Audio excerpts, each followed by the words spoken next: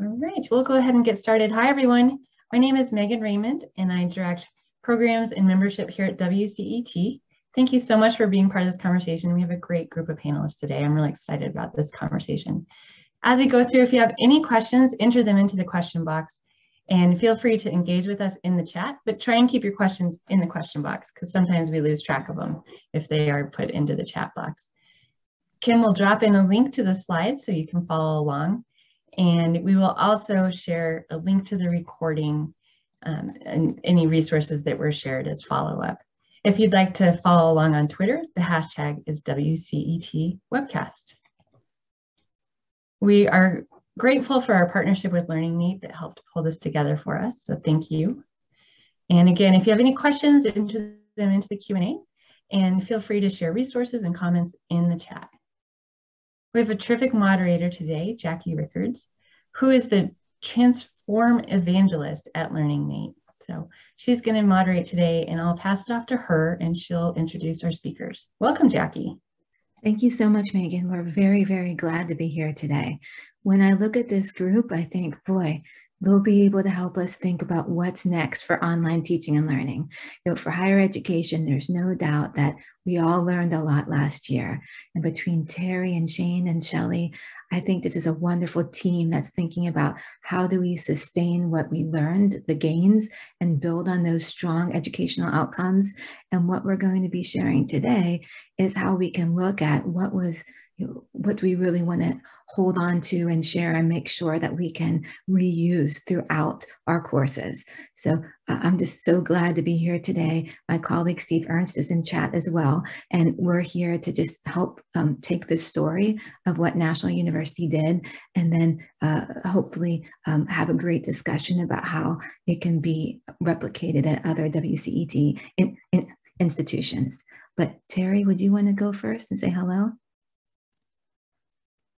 I would be delighted. Hi, I'm Terry Heron. I'm the Director of Customized Education for uh, National Education Partners, and we work in partnership with the National University System, and I work specifically with our Workforce Education Solutions Department so that we can build these kinds of marvelous um, professional trainings that are related to our academic programs.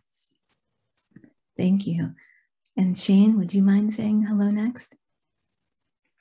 Absolutely. Hello, everyone. My name is Shane Stroop. I am the Director of Curriculum and Instructional Design uh, within the Office of Strategy and Innovation at National University. Uh, and I currently oversee our team of instructional designers who um, work with our subject matter experts and our faculty members to create the amazing content that we have at National University. Excited to be here. Thank you. Thanks, Shane. Shelley, would you mind saying hello too? Oh, absolutely. First of all, I'm thrilled to be here and thank you for everybody that's tuning in and um, joined the San Diego Police Department in 1982, uh, retired 35 years later as the chief of police, and then joined National University, uh, focusing on public safety and other leadership curriculum. Thank you so much, Shelley. And this whole team between Terry, Shane, and Shelley, we're just so lucky because we're going to be telling the story now, thinking about how we saw this need. And you know, with Shelley and Terry's help, they won a grant and took this need for you know, to change this eight hour in-person training into high quality scenario based online training. And then we didn't just leave it there. We knew it was something wonderful. And now it's being reused throughout those NU courses. So um, I'll, I'll be moderating chat, but Shelley is going to lead us off and we'll be, you know, excited to hear what everybody thinks. Please go ahead, Shelley. Thank you. Uh, thank you very much. Well, first of all, this project was a collaboration with many, which included Terry and Shane, who are going to be co-presenting here today. So let me just talk about how did National University uh, get this opportunity to develop online training for California police officers and professional staff. Well, we became aware of grants on five different policing topics offered by California POST. And POST stands for Police Officers Standards and Training. And although we were interested in applying for all five of the grants on the different topics, we learned about the grants well after that they had been announced. Therefore, there was an extremely short timeline of, quite frankly, less than a week uh, which made that impossible to complete and submit five grants uh, in time. However, for two of the topics, one being on community policing and the other on organizational wellness, I had given several presentations while I was the chief of police on these topics to city council and other entities, and I continue to speak on these topics even today. Uh, so I had a lot of material that the National University team could use to apply for these two grants. I will tell you is that everyone on the NU team hit the pause button on all their other projects. And in less than a week, we did submit the grant proposal, proposals on community policing and organizational wellness. The great news, we received both of the grants from POST. The not so great news is that, again, we had a very short timeline to develop the training, and this was going to occur during the holiday season, uh, pretty much just about a year ago from, from today, as we had uh, Thanksgiving and Christmas, New Year holidays coming up. So I'm going to now focus uh, the majority of my remarks on how we developed the community policing curriculum. Let's face it, community policing is all about relationships. And I was not shy to use relationships that I had developed both inside and outside the police department to help us. And here's the reason, is that, look, and I'm just one person and although I, I might have 35 years law enforcement professional experience in many areas, again, I'm just one person with just my experiences. And there's a saying that I believe in is that if I'm the smartest person in the room, then I am definitely in the wrong room. So it's extremely important to develop training that would bring in a, a diverse array of opinions and experiences. So to do this, we held numerous listening sessions. The participants were police officers and community members from different areas of our state, different ranks within their departments, different ages of community leaders and members. We tried to get as many ethnicities, races, religions, gender, small and large represented community groups and departments as possible. Um, during the listening sessions, we told everybody, check your egos at the door. This isn't about any one individual. It's about what can we collectively do and share for the greater good. And we also had in these groups those that were and had been very critical of policing because we wanted all voices. And there were several themes that emerged during the listening sessions, which helped us build the training. We also found, although it might have been said differently by the participants, but there was quite a, a, bit of agreement that the number one barrier to community policing was the lack of communication or how we communicate with each other. There was also vast agreement that people wanted to live in a safe and thriving community. Here are just a, a couple of the comments that, that we heard. There is no us versus them. It's only us. No one calls the police because something good happened. When police officers respond, it's because something bad happened. Police officers take on the myriad of societal challenges and try to make things better. And this is a privilege and an honor to serve the public. We also assembled uh, a robust uh, cadre of subject matter experts and had numerous robust discussions uh, what topics that should be included, and then how best to develop the authentic, timely, and practical training with the learner coming away with more tools and resources to help them do their job better. So we kept this in mind, is that we were developing statewide training let's face it, California is a very big state. It's the largest state with almost 40 million people. It is very diverse and has every area from urban to rural to agriculture, has the, the busiest land border crossing at its southern border here in San Diego. It also has very large police departments and very small police departments. So it was extremely important that the training would be beneficial for any size or where the police department was located within our state. It was a tremendous opportunity to bring this free training to the different departments for both their sworn and professional staff. The larger departments, well, they may have a training budget, but it's never enough. And quite frankly, the smaller departments often have a very small training budget or, or none at all. So there wasn't just one way, or, and there's never just one way to accomplish community policing. Quite frankly, there is every way. And that is how we approach the different training modules. From the listening tours and sessions, there was sharing of both good and bad encounters with police officers. And we asked the police officers and community members if they would be willing to be in a video uh, during different segments of the modules to share what they had discussed during the listening sessions. So, uh, and I will tell you, most of them agreed to do this. And so when we developed the scenario-based training on real events, and the learner could choose different options, the goal was that we wanted the learner to be a critical thinker and think through different outcomes and the unintended consequences of their choices. The reality is this, there isn't a perfect solution to all societal issues that police officers respond to and the challenges that they respond to. But you can make choices that help reduce the unintended consequences for better outcomes. As an example, and Terry I know will speak on this, is that we would spend a significant amount of time changing one or two words in the scenario choices. Because here's the reason words matter. And to help de-escalate situations, word choice is critical. And we would have the same robust discussion on uh, visual slides that were used and to change out the visual slides to help better the outcomes of what we were trying to have the learner think about.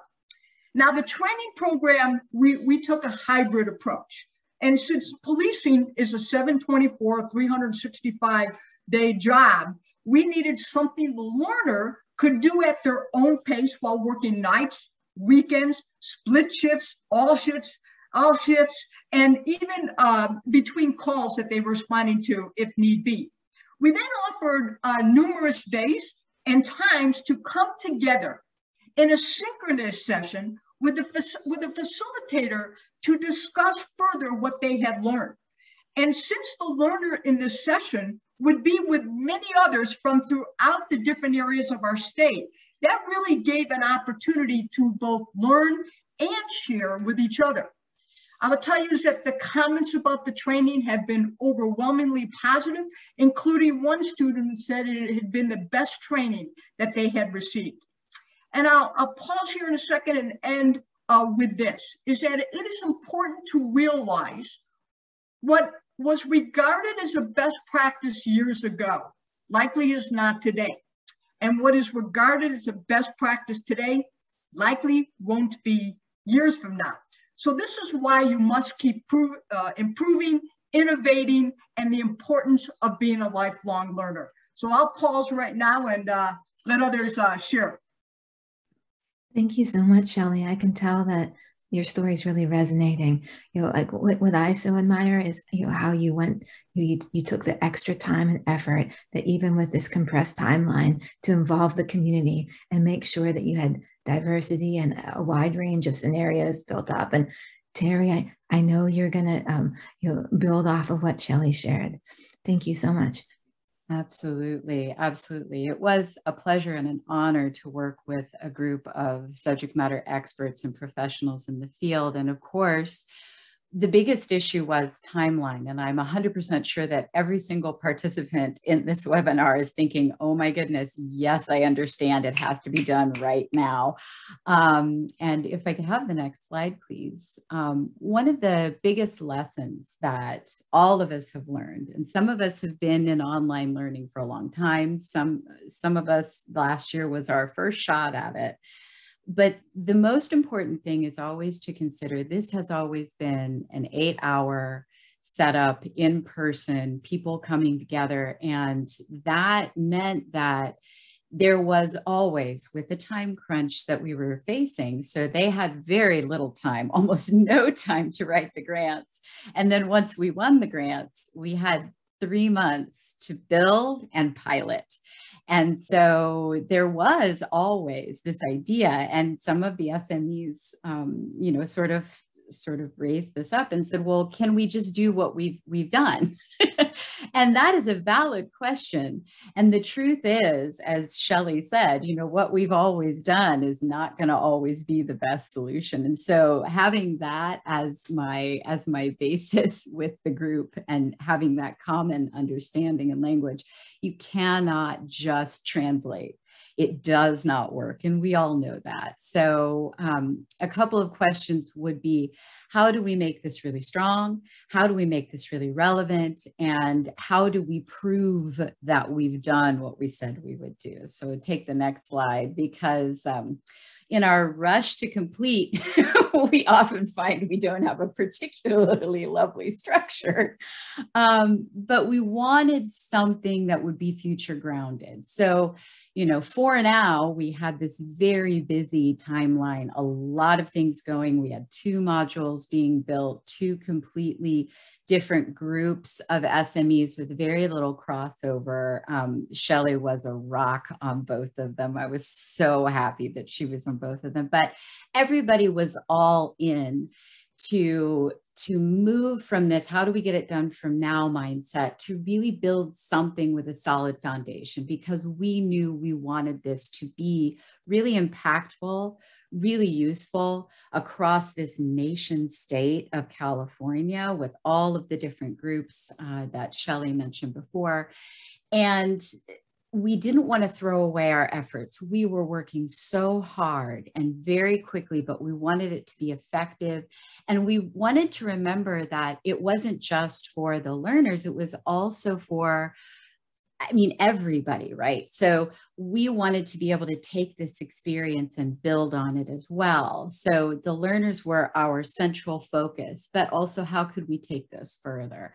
And we, we did an agile approach for very specific reasons so that we could continuously revise and review and revise, as Shelley said, so that everybody could bring their expertise to bear. And what that allowed us to do, if I could have the next slide, is really take a design-based research approach. So we were building as we went, we were testing as we went, we had the internal expertise, uh, and that is an agile approach as it is. And we were able to show our work and then revise it and then build a better element as we were going. And we were never afraid of failure. So if some piece failed, that was actually okay because we could take that and we could flip it. We could fail forward every time.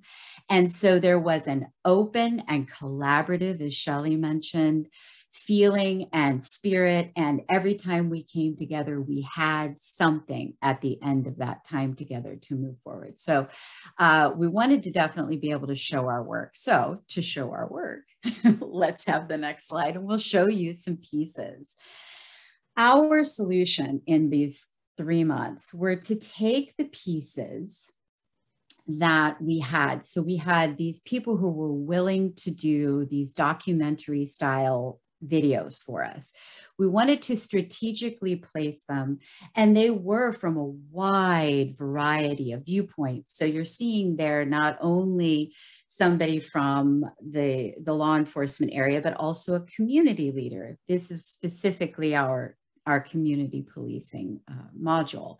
And then also scenarios, as Shelley was talking about, we deliberately front loaded the scenarios because of the conversations we were having. So rather than give people information, we put them into roles where they had to do something like what you're seeing, which is be the police chief after an officer involved shooting of an African American man in their city and answer questions. And because there are a lot of potentially right answers along that spectrum and a lot of potentially wrong answers. We made this as real as we could. So we really took in the information that Shelley and everybody was so gracious to share and then built these scenarios so that you could make an you could make an action happen that you thought was going to have a good result. It appeared okay and then blew up in your face. because that's real, that's authentic. And we were able to do that with the partnership of Learning Mate, who was willing to throw in with us. We threw the designs at them, they developed quickly. We tested, we tested, we tested, we revised as we went. But we also wanted an inclusive picture because we had such a wide variety of audience members. So we wanted this to be a holistic approach and we also wanted people to be able to make maybe even serious mistakes in a low or no stakes environment because they never have that in their real job. There's never something that doesn't incur a consequence. We personalized it by using some of the elements of our learning management system, which is D2L Brightspace, which allows us, even in a non-facilitated, and that's what this is primarily, online learning, followed up with the hybrid, which is a virtual, magnificent, a virtual community learning. So these sessions that finish the training is where everybody who has prepped with these sticky situations, these difficult scenarios, followed up by very rich content interactives, then get to come together and discuss larger issues and share out their individual experiences having been prepped in the online. And what we found, and I can give you some actual numbers, which people like, I like them too, because they allow us to prove we did what we said we would do each one of these modules starts with a pre-survey just to just to get an idea of where you feel you are as a learner on the spectrum of i feel like i have the ability to utilize elements of community policing or community policing improves uh, police community relations. Where are you on that spectrum? I feel i have the knowledge tools and resources to build community policing in my own agency. We took all those numbers and then we did a post survey and asked them exactly the same questions. Every single one of the pilot, which is what we definitely have, uh, responses were statistically significant and they all went into the positive range. The three that I can share with you are I feel I have an ability to utilize elements of community policing increase just in the pilot, which was about 200 participants, plus our SME group, uh, increased by 10%. I feel I have the knowledge, tools, and resources to build community policing within my agency went up by 15%. And those same things, knowledge, tools, resources, to train others in my agency to build community policing up by 18%.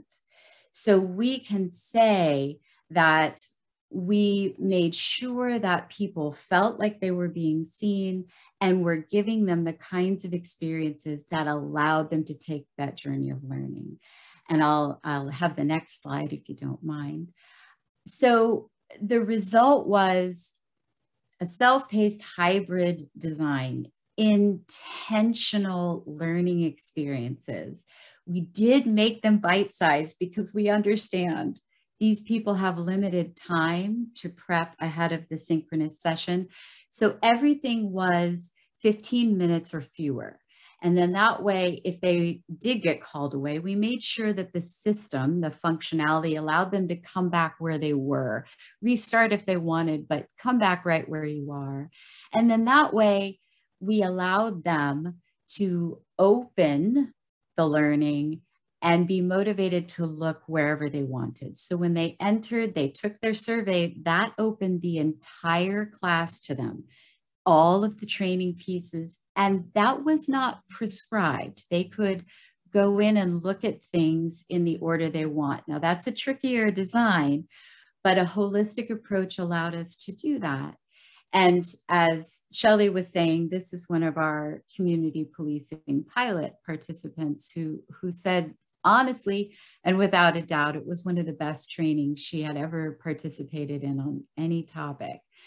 And because of the ways that we use the learning management system coupled with this really beautiful collaborative approach to design, we were lucky enough to win one of the Excellence Awards, and uh, we're actually going to be doing a panel uh, for just those award winners through D2L next next week to share uh, our experiences and what our projects are. And as important as this project is, and as fast as we built it, we had tremendously stable, foundational, and useful and impactful, I will continue to use descriptors, learning pieces, actual artifacts that are extractable if we need to. And we design those very specifically so they could potentially be remixed and reused, but it was also the process. And for that, I'm going to hand off to my dear colleague Shane to continue. Thank you, Terry. Great job. Uh, next slide, please.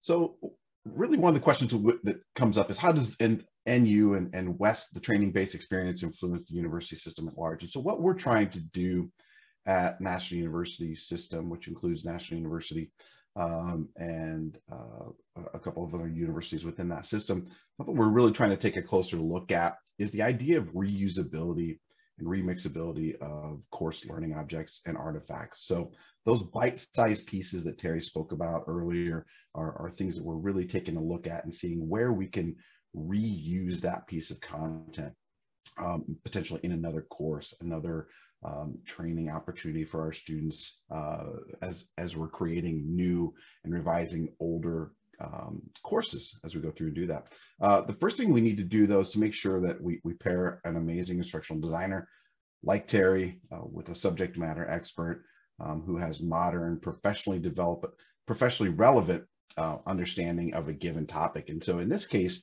uh, those are the police officers and the community leaders uh, that, that Shelley and Terry spoke about. Uh, and, and, collaborating, allowing them to collaborate in a way that will produce exceptional learning experiences for the learner. Um, often this really involves, and this is something that Terry spoke about earlier, but it involves creating those really rich um, uh, scenario-based experiences that students can uh, can digest um, as they're in, in, an asynchronous fashion. Uh, but it allows them to really go through those rich pieces of content that are thought-provoking scenarios and and and look at them through the lens of real life experiences. Again, these are coming to us from uh, from community leaders and police officers who have been involved in these experiences uh, throughout their careers. So as we're creating the, that amazing content for our students, we're, we're continuously designing for reuse and remixability in mind so that we could potentially use that piece of content in another area at some point. Uh, so for example, if we're, if we're trying to create a, a, a, an amazing video that's designed to show the basics of creating SMART goals that we plan to use in a marketing course, we may be able to also reuse that same video in another one of our courses that also requires the creation of SMART goals.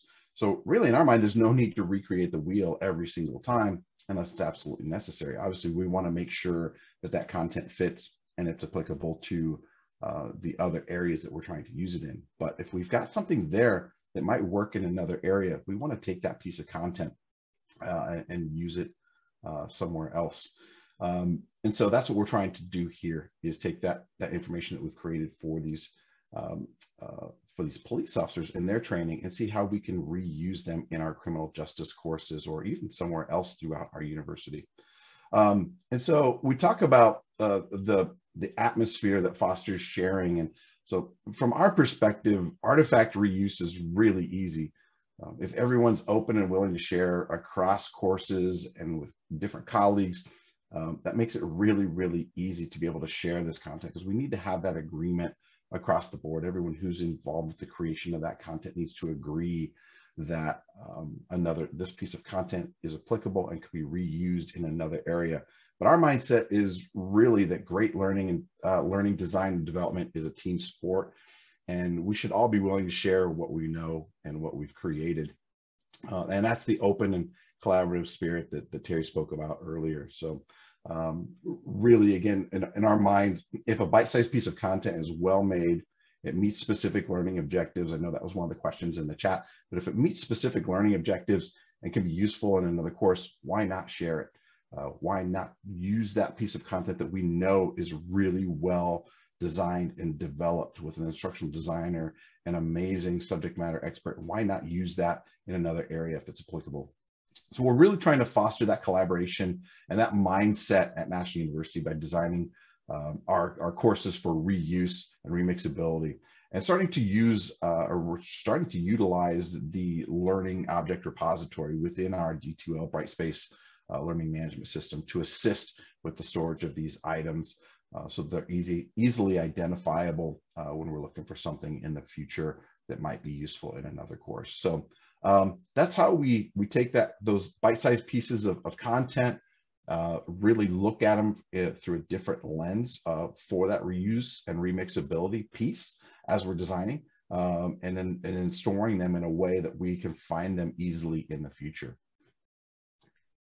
Shane, you're getting lots of comments, and Shelly and uh, uh Shelly and Terry got lots as well. Uh, people like your guitars for sure.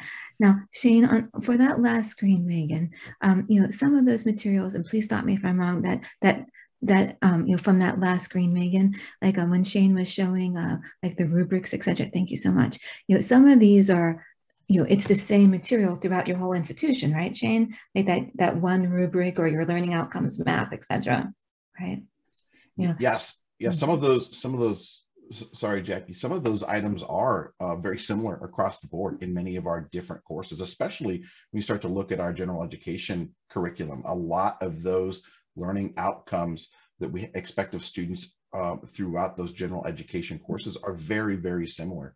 So there's right. e even a bigger opportunity in some of those those classes and those opportunity or those items, an opportunity to share across different courses. Amazing. And then when I think about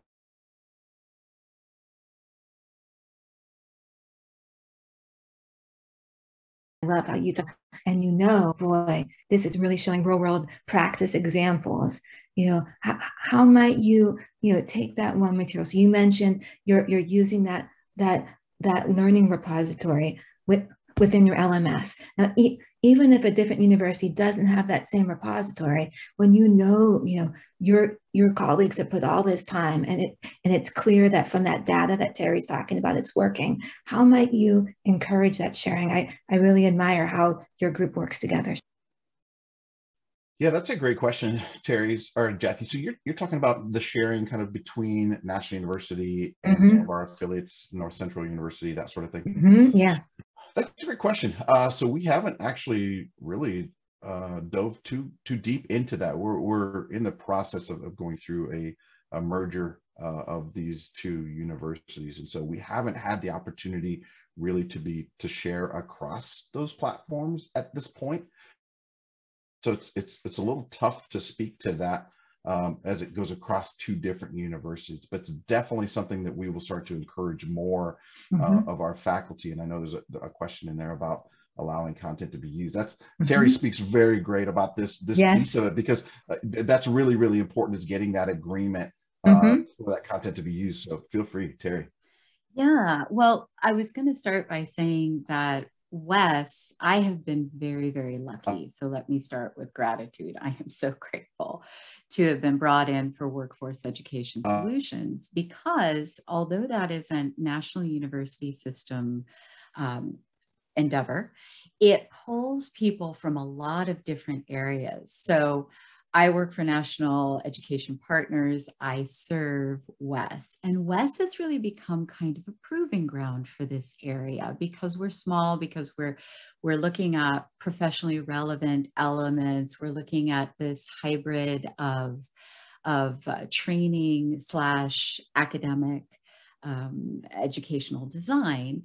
And because we have built um, because we've built relationships and i think that's i think that's the key just like shelly was talking about you know you've built these relationships relationship building is key I will tell you that my background was not in learning design.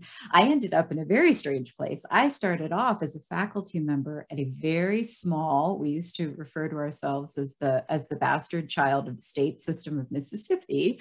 Uh, I worked at Delta State University, Go Okra.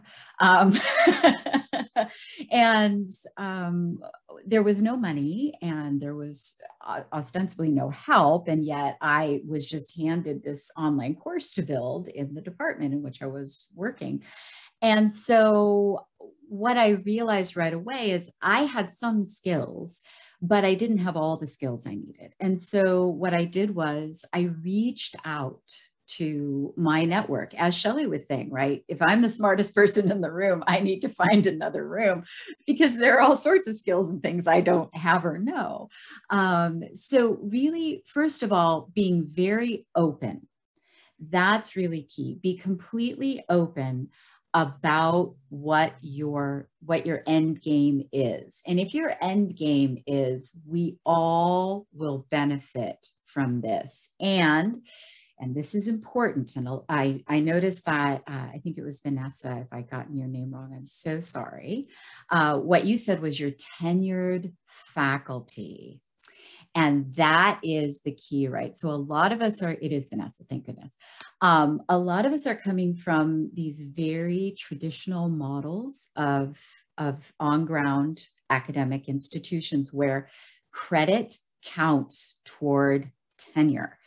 And so, what if we do this in this marvelous, you know, kumbaya, Pollyanna? I'm sure I could think of other things that your your faculty will be thinking. Well, yeah, kumbaya, Pollyanna, all work out great for everybody. But when do I get credit for this, right? If you're going to use my thing that I built, I need to have credit for this. And there's a lot of this ownership, and that is important. And we need to honor that. So we need to balance our end game of everybody wins and the originator of the content is acknowledged so that if I do something truly miraculous, right? So let's say I was the tenured faculty member and I built a D2L Excellence Award winning course, I should get acknowledgement and credit for that because it's important. At the same time, as Shelley was saying, you have to, if you are truly going to serve, you have to be willing to be generous. And that's hard. So, first of all, know what your strategy is and get buy in immediately. And if people do not want to buy in, then they lose out. And as others start to win with the buy in, it oftentimes is self correcting because people don't want to be on the outside looking in at the great party where everybody's getting better things and everybody is succeeding and they're still on their own. Being on your own is very scary. Uh, being in the midst of a group where you can collaborate and encourage each other. And then you also have that network where you can do things like pseudo pilots, right? So share your course and say, hey, Shane, um, you're in my department. I, I want you to look at this. And people will start looking at other people's things. But it is hard to change people's minds. And that has to come from the top and the bottom. So you can't just talk about, um, this is what the dean said, so this is how it is, because we both know that culture eats strategy for breakfast. Um, and it is really, really important. Yeah, I get you, Vanessa, being published, publish or perish, preach it. I completely understand. And so intellectual property is one thing, right? And let's say if you're going to be publishing this thing, the other thing you can do is creative commons licensing yeah. right even in the smaller even in the smaller areas um, even in the smaller institutions, you have then published that. And that becomes a piece that somebody else can use in their class. So it, although it is open, it still belongs to you. And you can then show how many people are using your thing, which became very important. So while we are coming from a very open, collaborative, strategic kind of approach, when you're coming from the other side and it isn't really programmed in, remember there are those Creative Commons licensing pieces, and you can build that into your strategy so that I own it and 60 people are using my freely available piece that I have built, and it is showing results across the board you know, publication, none of us in the academic area who have published, me included, ever think we're going to see a dime from that anyway. What we get is that we've published. So use those strategies. And then Shelly, I would love to hear from, from the academic faculty side of things, what you think. Yeah, you, you know, both you and Shane said that, said that very well. It's, uh, you know, you talk about the culture and, you know, it goes back to community policing. What's the culture of a police department? What's the, what's the culture of, of academic? Um, and, and it all goes back to, and that's what I said in my earlier remarks, is that it's a privilege. It's an honor to serve, you know, to be a servant leader, to go out and, and, you know, I'll just give San Diego Police Department as an example is that, you know, the department receives about 1.4 million calls into their communication center every year. As I said, nobody calls the police department for good things. So when you respond to this, how powerful is that that you have an opportunity multiple times a day to make a positive difference in someone's life and usually at their worst possible moment. So then how do we, you know, as I said, check the ego at the door. How do we get people to buy in to tell their stories? Because during the listening session, there was some amazing, wonderful, um, you know, heartfelt that that community members and police officers were pouring out their hearts on real life events when you did respond to these calls, which would be incredibly impactful uh, to help the learner across our state uh, understand how best to go about, um, you know, the different entities and as we respond, as I said, to the myriad of society struggles. So taking that approach is that there was quite a bit of buy-in. As I said, the majority of the community members and, and police officers who we did approach to be part of the, the videos and to, uh, to assist they, were eager to do it or just needed a little bit of nudging and, and, and, you know, just to understand really what we were doing. And, you know, you put yourself out there and, you know, it was a, a, a, story that was very personal to you, but you put yourself out there now for everyone else to, to see it and, and talk about it and take it apart. So, you know, I think with the approach that it is for the greater good, you know, is in, incredibly important. And, and that's why they wanted to get involved in this from the beginning. And, um, you know, I think, uh, again, you know, if we continue to, to get these grants from POST or other entities, you know, I think we've learned a lot in this process and we'll take what we've learned that worked and, you know, and, and enhance it. Uh, to move forward. So yeah, I agree with you 100%. You gotta gotta get that buy-in.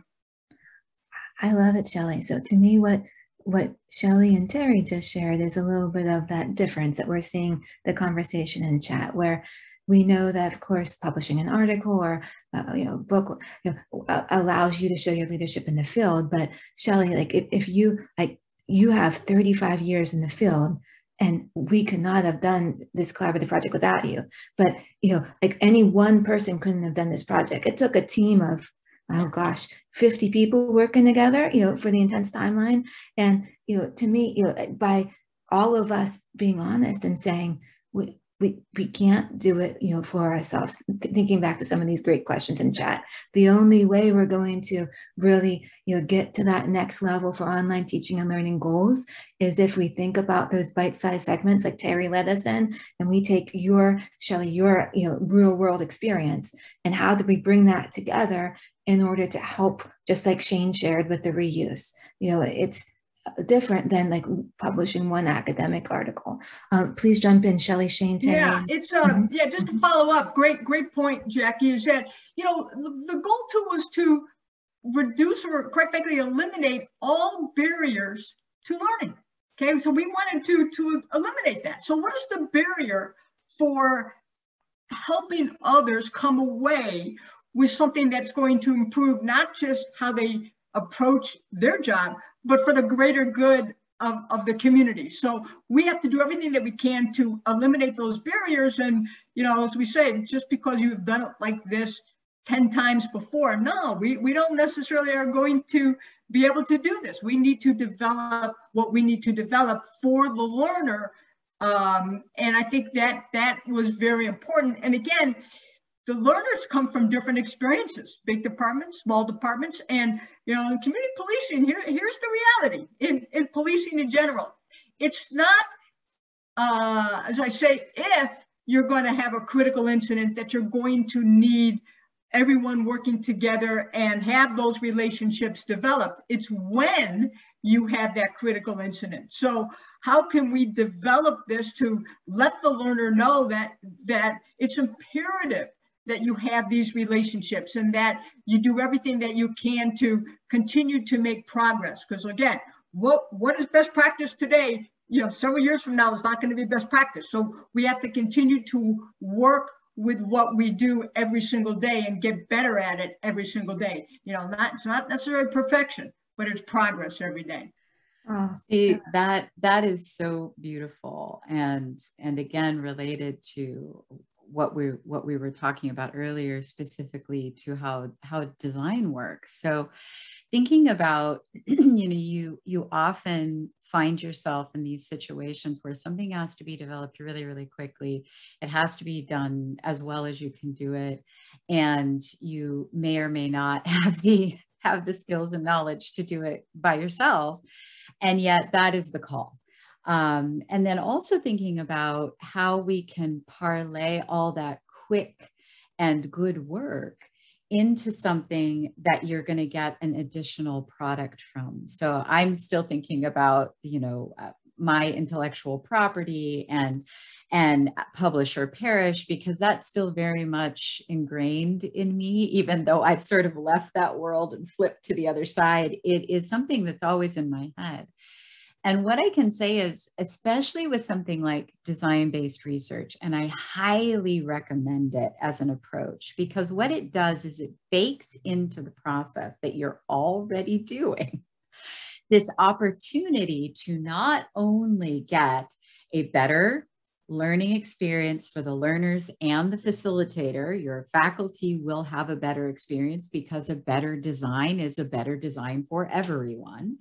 But the secondary portion of that is the research portion. And if you are already doing everything that you are doing, why not take that experience as a research approach and write an article? Why wouldn't you do that? You're already doing all the hard work. And even if it's a short article, it can show the different approaches that were taken and how that evolved over time. And people love to see they love to see the numbers right we all love the the quantitative but we all know as faculty members facilitators and educators that the qualitative aspect of it so having actually taught it you will then have a, an additional opportunity, especially at a smaller institution where you may teach the same thing over and over and you're going to tweak it each time. You could have over the course of just one academic year, very rich research, very rich data that you can then parlay into a publication for yourself, even if you're giving away pieces of your design, right? So it's my IP. I put a Creative Commons license on it and then I give it away and I say, here's a great thing. Or I take it to one of the open educational resources platforms like Merlot and I say, please use this. And then I see the data on that as well. So that I can see not only my class, but the individual pieces. And that gives you sometimes not just double, but sometimes triple bang for your buck. And if we're if we're going to work that hard, let's let's get as much out of it as we can. Oh, Terry, I, I enjoy working with you for 10 reasons. But what Terry just shared, I mean, to be honest, we, we didn't have time to do that last year, right? You know, we were falling over because of the needs from our online classes. But the reason I was so glad to partner with WCET to have this session today with, you know, Terry, Shane, and Shelly was that, you know, this group, you know, the NU, the NU WES group managed to do that because of these grant requirements.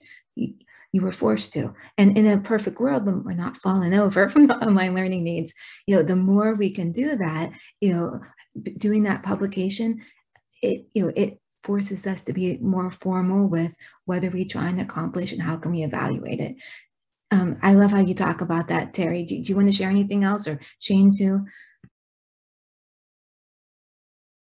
Just don't be scared if we if we start from a position of fear and this was for community policing too we talked about this a lot didn't we Shelly if you start afraid you will always do the wrong thing right.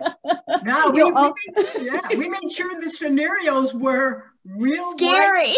yeah and you know but it's reality. And and you know i'm going right. you know, is scary but it's reality. And it's you know it, it's got to be authentic. And and I think that's what the learner took away is that wow you didn't you didn't shy away from anything. You know these are these are things could could happen multiple times right. a day. And and thank you. Yeah exactly.